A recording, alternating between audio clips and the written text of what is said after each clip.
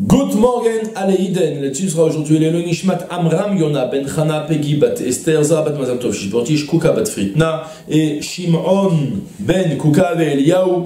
Si vous souhaitez vous aussi dédier une prochaine étude de Mishnah, contactez 5 minutes éternelles. Nous étudions Sanhedrin, Perek Zayd, Mishnah Dalet, que l'on va couper en deux. On va faire la première moitié aujourd'hui, l'autre moitié demain.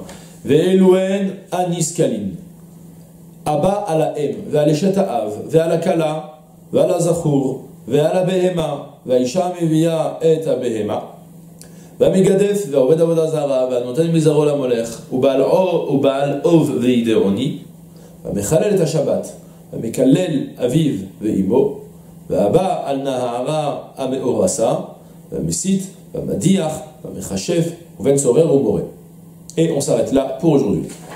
On a euh, parlé jusqu'à maintenant, on a présenté les quatre formes de condamnation à mort, Sekila, Serefa, Herek, Vechenek. Maintenant, dans les prochaines Mishnayot, on va commencer à préciser quelles sont les transgressions pour lesquelles la Torah condamne.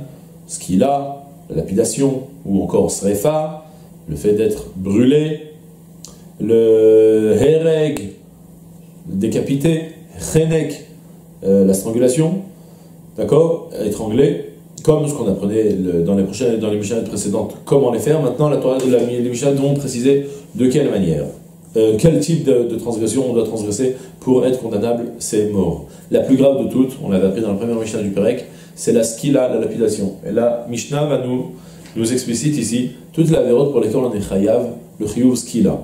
Il y a quand même un avantage, c'est que cette Mishnah va prendre quand même un petit peu de temps pour expliquer chacune des notions, mais chacune des notions sera ensuite Chacun des, chacune des transgressions fera ensuite l'objet d'une Mishnah plus loin qui nous expliquera dans les détails comment on est, comment, dans quelles conditions on est exactement est chayav sur ces transgressions. D'accord? Et on commence donc Ve'eloen aniskalim. Telles sont les personnes lapidées, chayav de lapidation, condamnables de lapidation? Abba ala em, celui qui a des rapports avec sa mère, ou avec la femme de son père, soit qui n'est pas sa mère, il a une mère, et il a en plus de ça son père, s'est marié avec une autre femme, et il entretient des rapports avec elle. Alors, Av, donc la femme du père, Kala, et avec sa bru, sa belle-fille. Ces trois incestes-là, ce sont des incestes sur lesquels on est chayav, skila. D'accord? À la différence d'autres incestes qui auront d'autres yuvim, qui seront en général chenek, mitato chenek, comme on les explicitera plus loin. Ensuite, Zahur, idem aussi pour celui qui a des rapports avec un homme, deux hommes, des homosexuels, Ve'ala Zahur, Chayav Skila, Ve'ala Behema, celui qui a des rapports avec un animal, ou encore Ve'aisha Mevia et Behema, ou la femme qui entretiendrait des rapports avec un animal, dans les deux sens, que ce soit l'homme avec l'animal ou l'animal avec la femme, ou même l'animal avec l'homme aussi, et on s'est compris, alors dans tous ces cas-là, on est chayav skila. D'accord? Et on a fini avec les cas d'inceste, la ta'ava du niouf, la tendance à, au rapport mal, euh, mal dirigé. Et on, part, on évoque à présent d'autres exemples d'autres cas de transgression sur lesquels on est chayav skila, qui ont plus se rapprocher de la sorcellerie de la Vodazara. Megadef, celui qui blasphème. C'est quoi celui qui blasphème? Celui qui blasphème, c'est ce qu'on appelle toujours la. On n'ose pas le dire, on, appelle ça Birkat Hashem, mais à l'envers, c'est pas la, la bénédiction d'Hachem, c'est le contraire, c'est la klala de. Et on apprendra concrètement comment il faut, euh, de quelle manière il faut maudire et blasphémer pour être condamnable. Aussi,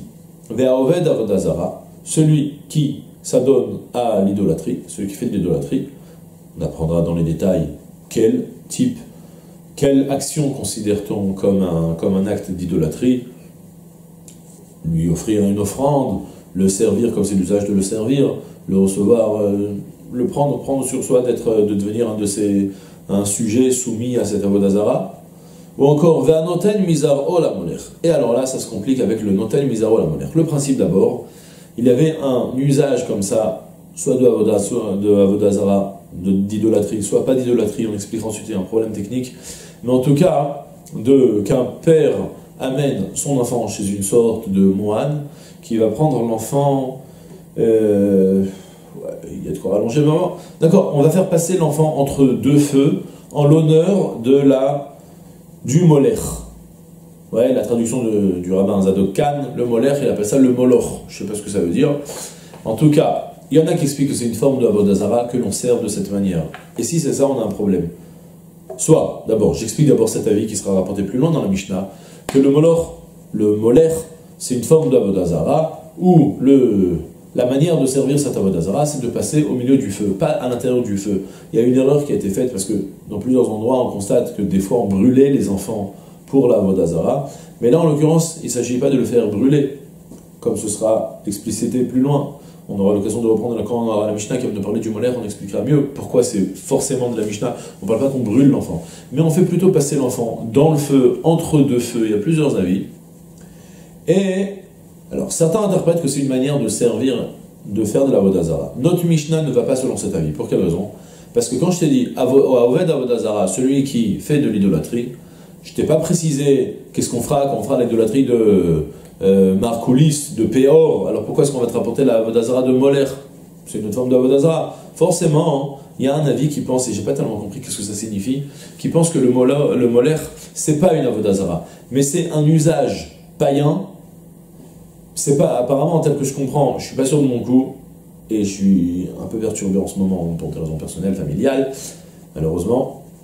Et donc j'ai pas pu approfondir de trop le sujet, mais en tout cas, il y a un avis dans la Gemara qui considère que le molaire, c'est pas une, une, idolâtrie, mais c'est plutôt un usage païen, ou je sais pas si c'est une idéologie, ou je sais pas, en tout cas, c'est pas qu'on se soumet à une force suprême, mais c'est qu'on qu'on fait concrètement cet usage un petit peu bizarre, euh, mystique, de, se, de passer entre ces feux en l'honneur du molaire, mais c'est pas une avodazara. Alors, qu'est-ce que c'est si c'est pas une avodazara Je me suis interprété ça qu'il s'agit sûrement d'un d'un concept, comme on pourrait trouver des gens qui, qui je sais pas si, je sais pas, il y a des, coutumes comme ça chez certaines, euh, certains noirs d'Amérique, de, avant de boire de l'alcool, on en verse pour les, par terre pour les morts, ou je sais pas, des usages un petit peu comme ça. Et alors là, spécifiquement, parmi tous les usages qui sont tous interdits à cause de Bechokotem Lotelechu, mais on n'est pas qu'il a sur tous ces usages, et bien spécifiquement sur le molaire, passer entre les feux, c'est quelque chose de particulièrement haï qui est explicite dans la Torah que Hachem il a eu particulièrement ça. Peut-être le principe, je sais pas si je peux tellement expliciter. Le principe, c'est peut-être le fait que l'enfant, dès qu'il naît, on va déjà le donner à, des bêtises, à des concepts bizarres. Alors, ce serait la vie en tout cas, apparemment, du, à noter le misère à la molaire. Si j'avais eu plus de temps devant moi, je me serais fait un plaisir d'ouvrir le Sefer Al-Khinour. Faites-le à ma place. Et euh, je suis même obligé d'un petit peu de bâcler les prochains cours pour les enregistrer vite chez moi avant de recevoir toute la famille qui va prendre les shivas de mon beau-père. En tout cas, on va noter le misère à la molaire, donc on l'a fait. Au Baal Ov Veideoni. Alors là, le Baal Ov Veideoni, ce sont des principes de spiritisme un peu spécial, c'est pas exactement le spiritisme que tout le monde raconte qu'ils ont fait, qui est très interdit par la Torah et sur lequel on est a de toute façon. Il entre dans, dans, le cadre d'un de ses interdits, mais en tout cas, c'est des manières d'interroger les morts en prenant un, une cervelle de mort, ou il y a, des, systèmes, tout ça ce sera explicité dans les prochaines Mishnayot, d'accord? Ça c'est le Baal Ov Veideoni. Va Mechalel et Shabbat, celui qui transgresse le Shabbat, et regardez comment c'est grave d'être Mechalel le Shabbat. Mechalel le Shabbat, on le met en même temps avec tout le. Regardez, quelque part, on rencontre des fois des bons gens que vous allez leur dire euh, avoir des rapports avec sa mère, ils vont être euh, choqués. Avoir euh, faire de, du spiritisme, ils vont être choqués. Mais ils vont dire ah, Shabbat, ça va, on peut essorer un chiffon. Hein, on essore le chiffon, un chiffon, on est khayab avec le même chious qu'il a le, plus grave des, la plus grande, la plus grave des exécutions, parce qu'on transgresse le Shabbat. Quand on transgresse le Shabbat, quelque part Hachem il a créé le monde et il nous a, nous, on a le devoir de le, du, du, le Shabbat, de nous abstenir de faire un travail, et comme ça on reconnaît que c'est Hachem qui crée le monde, et puis quelque part, ben, quand on ne fait pas ce qu'Hachem a demandé de faire le Shabbat, on est en train de lui dire t'as pas créé le monde, tout simplement. C'est pour ça que ça rentre dans le cadre de ces graves avérotes, si on peut interpréter de cette manière.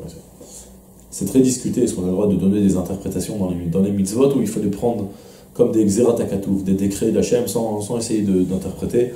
Naturellement, on a toujours envie d'un petit peu de comprendre les raisons, donc je propose des explications, mais bien sûr, c'est aléatoire, c'est... Ve'amekalel aviv ve'imo. celui qui maudit son père ou sa mère, c'est pas qu'il l'insulte uniquement, mais c'est qu'il le maudit, c'est qu'il lui, lui souhaite un mal en prononçant le Shem Hashem. Qu'Hachem lui fasse. D'accord? On apprendra, est-ce qu'il faut préciser le Shem Améphorach ou autrement? En tout cas, faire très attention à tout ça. Il y a, plusieurs expressions en arabe comme ça. Euh, on mélange facilement les, le Shem Hashem, de manière générale, même envers son prochain, pas envers ses parents. C'est un sourd de la Torah très grave. Et à plus forte raison, si on va utiliser le Shem Hashem, même en arabe ou même dans n'importe quelle langue, en arabe spécialement, apparemment, c'est des expressions que les arabes doivent probablement utiliser facilement. Et c'est très grave. Faut vraiment s'abstenir de toujours ni maudire ni jurer. Et à plus forte raison, si on, on mentionne un Shem Hashem, un nom d'Hachem, même dans une autre langue, ça a une valeur très grave. C'est vraiment, c'est à éviter. Ça, c'était pour le Mekalel Aviv et On, on, a, on précisera ensuite quelques, quelques, quelques, petites, euh, quelques petites explications sur chacun de ces termes, mais pour le moment, je suis pressé d'arriver au bout de, la traduction. Ve'aba al Na'ara Ameurasa. C'est quoi celui qui va, celui qui, a des rapports avec une Na'ara Ameurasa Avec une jeune fille, entre 12 ans et 12 ans et demi, euh, vierge, Betula, Meorasa qui est fiancée à un homme. Elle a un statut spécial. Normalement, avoir des rapports avec l'adultère, des rapports avec une femme mariée, on est chayav. Euh, si je ne me pas, ouais. Chenek, la strangulation. Et spécifiquement, pour la jeune fille vierge qui est fiancée, c'est-à-dire puisqu'elle est vierge, elle n'a pas eu de rapport avec son, son mari, et, elle, a un statut d'être recette, pas encore Nessoua, alors là, on est chayav ce qu'il a sur cette femme-là. Et après, il y, a un, il y a un grand problème d'ordre, c'est que parfois on parle d'inceste, après on se remet à parler de sorcellerie, blasphème, idolâtrie, puis après on revient encore une fois sur l'inceste, et puis encore on revient de nouveau sur l'idolâtrie. Il y a un long Tosotium Tov ici qui, qui fait un petit peu d'ordre selon les origines de chacun des interdits. On va pas entrer dans les détails, mais en tout cas, remarque importante la manière dont la Mishnah passe d'un sujet à l'autre. Ve'abal Nahara Meurasa, donc celui qui a des rapports avec une jeune fille fiancée. Quand on parle de fiancée, on l'a déjà évoqué plusieurs fois, on parle d'une femme qui été Mekou Déchet. Ouais, à l'époque, c'est pas les fiançailles qu'on fait à notre époque.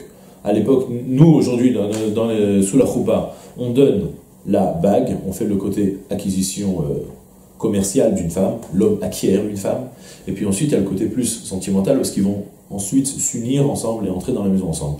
Aujourd'hui, on fait tout ça le même jour, dans la même soirée. Il y en a qui font la choupa. Juste après la choupa, ils vont faire le cheder choud. C'est un statut de choupa selon plusieurs avis. Euh, nous, on fait en tout cas ces deux actions de d'acheter la femme avec la bague et puis ensuite de faire le Sheva Brachot, on le fait le même jour. À l'époque, il y avait un an d'écart et on se retrouvait avec une femme avec un statut très original. C'est que la femme, elle était elle avait un mari, elle était mariée. Si elle avait des, elle n'avait pas le droit de le tromper, c'était très grave si elle avait quelqu'un d'autre, parce que c'est une vraie femme qui fait de l'adultère, qui, qui fait de l'adultère. Et malgré tout, elle vit pas encore avec son mari, il n'a pas le droit de se marier, il n'a pas le droit de s'unir avec elle tant qu'ils n'ont pas fait les Sheva Brachot et qu'il n'a pas donné la Ktuba. Et qu'il n'a pas fait entrer chez lui, c'est là l'essentiel. Ça, donc on a fait. Deux interdits particuliers. Celui qui incite son prochain à faire de l'idolâtrie c'est une halakha très spéciale. On explicitera la singularité de cette halakha, mais c'est dès que je vais aller voir quelqu'un pour le stimuler à partir de faire de la vodazara, je vais lui dire Viens, tu vas voir cette vodazara, elle va te résoudre tous les problèmes de ta vie. Tu vas faire ainsi et tu vas faire comme ça, et puis tu auras tout plein de bracha, de réussite dans tes actions. Je l'incite à faire de la vodazara, je suis chayav ce qu'il a. Ça, c'est mes sites quand on, euh, on incite ça se mes sites incite, on incite le particulier à venir faire la Vodazara. Et il y a une autre halakha très particulière, c'est le Madiyar. Celui qui est Madiyar, c'est la même chose, c'est qu'il incite, cette fois-ci avec la Iranidachat, qu'il incite cette fois-ci la, plusieurs personnes, il incite plus, donc euh, un rabbin, euh, un public, à faire de la Vodazara. Les deux, ils sont chayvim ce qu'il a. Ou encore, Veha Mechachef. Amechachef, c'est général à tout celui qui fait de la sorcellerie, qui jette des sorts. À la différence du Balov et Idéoni, ce sont des personnes qui interrogent le futur, et le Mechachem, c'est celui qui jette uniquement des sorts pour qu'il lui, il lui apporte la poisse. D'accord? Au Ben Sorer ou c'est le dernier. Le Ben Sorer ou c'est un statut très particulier. c'est l'enfant. Euh, comment ça se traduit ça? Le Ben Sorer Romoré, l'enfant rebelle. Il y a alors très spécial, il y aura un Pérec entier, Pérec Ben Sorer euh, où on explicitera concrètement de quelle manière, quel enfant, qu'est-ce que c'est un enfant rebelle? C'est un enfant, pour vous donner une idée, c'est un enfant qui vole de l'argent de ses parents pour aller acheter de la viande et du vin, une viande qu'il mange de manière euh, qu'il a fait à peine griller et qu'il la, il la, il la bouffe, il se goinfre, il a une conduite trop immorale, c'est sûr que à Torah Yardal Sof la dame, la Torah elle sait qu'une personne pareille, elle ne va pas ensuite évoluer de manière euh, positive. C'est sûr qu'à la fin ça va devenir un brigand. Et la Torah a donné une halakha très spéciale en nous disant tue-le tant qu'il est encore jeune, il a 13 ans, au moins il fera moins de dégâts. D'accord? On a fini de traduire toute notre Mishnah. Quelques petites précisions. Tout d'abord, on a déjà évoqué ça dans la Mishnah précédente on l'a déjà évoqué en tout cas, que la Torah, quand on lit, quand on lit dans la Torah les condamnations à mort, bientôt on va arriver à la parchat Mishpatim par exemple, vous allez voir, des fois il y a marqué motiumat, des fois il y a marqué des petits mots, euh, damavbo, euh, nakominakem. Tout ça c'est des manières de dire, bon, il faut le tuer, il faudra le venger, ce damavbo, son, il est, condamnable, je ne sais même pas traduire le mot damavbo, je, tout cas, c'est une manière de dire il doit forcément donner son sang, il faudra verser son sang. Euh, il y a comme ça plusieurs expressions. Nakom, inakem, je, l'ai déjà dit. En tout cas, Chazal, nos maîtres, ils, enseignent dans la Gemara que chacun des mots, en fait un nom de code avec lequel on va deviner et déduire selon les règles, des, les, les, les 13 règles de lecture de la Torah de, de Rabbi Ishmael, et même plus que ça en fait, on va déduire de là la manière dont la Torah a demandé de le, de le, tuer. En l'occurrence, dans tous ces interdits, pour la plupart, vous verrez qu'il y a marqué là-bas Mot yumat damav bo. Il y a marqué damav bo. Son, il doit le payer de son sang. C'est un peu la traduction du mot damav bo. Ou de. Sans toutefois nous dire, alors quoi, d'accord, il doit verser son sang, alors quoi, qu'est-ce qu'on fait? On lui ouvre la gorge et on lui fait, on lui fait la shrita. Qu'est-ce qu'on fait exactement? C'est pas précisé. Sauf dans un seul endroit, sur la Mechashefa, si je ne me trompe pas, Baal Veideoni plutôt, sur celui qui interroge les morts. Là-bas, la Torah a dit euh, Vous les lapiderez avec des pierres, Dmeembam, car leur sang doit être versé. Alors de là, on va apprendre maintenant que partout où la Torah dit Dmeembam, Damavbo, ou encore d'autres expressions, nous partons dans la Torah, alors on va déduire de là-bas que ça signifie qu'il faut lui faire ce qu'il a. D'accord? C'est des noms de code. Ça, c'était un premier point. Le deuxième point sur le Zaro, la Molech, on a déjà expliqué. Le Molech, est-ce que c'est Avodazara ou c'est pas Avodazara? Ah, une remarque très intéressante aussi. On apprendra plus tard. Là, on a évoqué celui qui maudit son père et sa mère. Béchem. En mentionnant, le Shem Hashem. À la différence de celui qui frappe son père et sa mère, où il est condamnable de chenek, de strangulation, la moins grave des quatre euh, formes d'exécution. Ce qu'il a, Srefa, Herik, Vechenek, la quatrième. On l'étrangle uniquement. Tandis que celui qui maudit son père et sa mère, il est ce qu'il a la plus grave des morts. Vous allez me dire, c'est étonnant, quoi. Pourquoi? C'est tellement. C'est plus grave. Qu'est-ce qui est plus grave Si je vous dis, quelqu'un qui va jeter un, sort, une mauvaise. Il va souhaiter du mal à ses parents en mentionnant le Shem Hashem, ou quelqu'un qui va partir frapper son père et lui faire sortir une goutte de sang, qu'est-ce qui est plus grave? Eh bien, on constate que la Torah nous dit que c'est plus grave de maudire son père et sa mère. Pour la simple raison, c'est que quand il maudit son père et sa mère, à part de leur souhaiter du mal qui en soi-même, un zilzoul, un mépris et un. D'accord Il dégrade son père et sa mère, tout comme celui qui frappe, qui leur fait mal. Mais on peut avoir un autre problème, c'est qu'il mentionne le Shem Hashem pour ça. Et en mentionner le nom d'Hachem dans un mauvais cadre, alors ça fait qu'on transgresse le même principe de mentionner le Shem Hashem, le nom d'Hachem en vain. D'accord? Et je crois qu'on a fini toutes les remarques à dire sur la Mishnah, et on fait à présent le Barthénois. Elouen Aniskalin. Telles sont les personnes qui sont niskalin. Ce sont les trans, ceux qui transgressent des avérotes, qui sont niskalin, qui sont lapidés. Il y en a, parmi ceux qu'on évoque, où il est écrit explicitement le mot skila, de lui faire la lapidation. Et les autres, où il n'y a pas écrit de leur faire la skila, de les lapider. Alors il y a quand même écrit autre chose. Il y aura écrit soit Damavbo, son sang, il devra payer de son sang, de Mehembam, ils devront payer de leur sang. Donc il faudra les condamner. Et alors quoi? Partout tu verras, tu verras ces termes qui te disent Damavbod Membam, Eno Elaskila, c'est qu'il faut le lapider. D'où je le sais? Delfinan me Ov Ideoni, car on l'apprend du Ov et du Ideoni, celui qui interroge les morts ou les oiseaux. Euh, il interroge, donc il s'intéresse à savoir le, futur, les futurs horoscopes, non, c'est autre chose.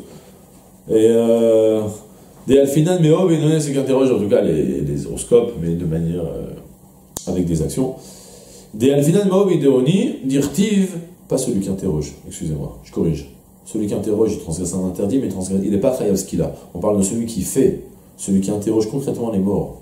C'est-à-dire, si je vais voir quelqu'un, un marabout, qui va interroger les morts, à sa manière, il va prendre la cervelle, et que moi, je transgresse un interdit de la Torah, mais je suis pas chayav ce qu'il a. Si j'interroge, c'est lui qui sera chayav ce qu'il a. Je crois que c'est explicite dans les Mishnah plus loin. Prenez ça à 80%, on verra qu'on y arrivera. D'accord? Donc on apprend ça du Ov et du Videoni, oh c'est explicité là-bas. Vous les lapiderez, bam, leur, ils devront le payer de leur sang. Donc on apprend là-bas, partout il y a marqué dans ma Anotan la celui qui donne de sa progéniture au Moler, au Moloch, selon euh, le rabbin Zadokan. Kasavarai Tana, Molech la Bavodazara. Et la Umot Be'alma. Ce Tana de la Mishnah pense que le Moler, ce n'est pas une forme d'Avodazara, sinon on ne l'aurait pas explicité de nouveau, puisqu'on a déjà dit Aomed Avodazara, celui qui fait l'idolâtrie. Et là quoi? Euh, Qu'est-ce que c'est donc? Umot mais c'est uniquement un usage païen, une pratique païenne, uniquement des homotes, euh, Midetana Vodazara, Betana Moler, puisque on t'enseigne Vodazara et puis après on te reprend, on te dit Moler, donc c'était entre. Forcément, c'est que c'est autre chose que de la Vodazara. Il y a plusieurs conséquences de ça, mais on ne va pas trop rentrer dans les détails.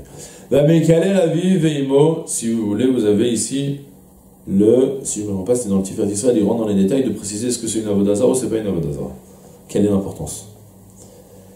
Quel est la vie celui qui maudit son père et sa mère? C'est plus grave que celui qui frappe son père et sa mère. Deika tarte, car il y a en cela deux choses, deux transgressions graves. Klon aviveimo, le fait de mépriser son père et sa mère, et en plus de ça, umotsi shem shamaim le vatala, le fait de, prononcer le nom d'Hachem en vain.